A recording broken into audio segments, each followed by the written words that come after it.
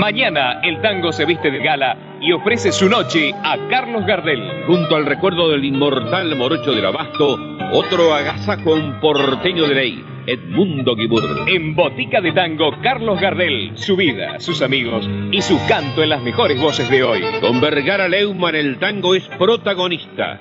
Mañana a las 9 de la noche, su fiesta está en Botica por Canal 11.